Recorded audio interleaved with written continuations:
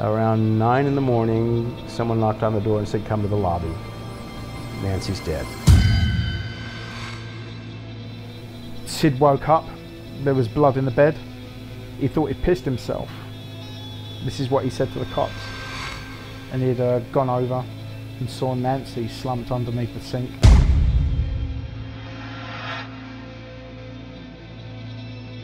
If you were to tell me or tell anybody that knew them that they both committed suicide in some grand spectacular fashion, we would have believed it. They didn't have anyone left at the end. They had no one to turn to.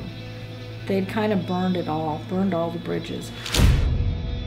Sid used to get up around five, no matter what,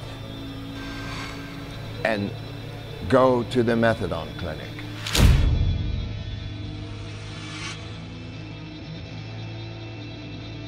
I know that Sid and Nancy used to play very heavy subdom games. You know, they used to cut each other and stuff like that.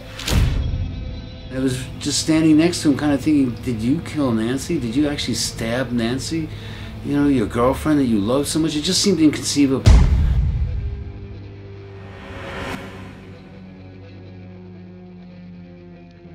And we raced down to the lobby, and Nancy was in a body bag. Sid came out in handcuffs, and we're saying, Sid, Sid, what happened?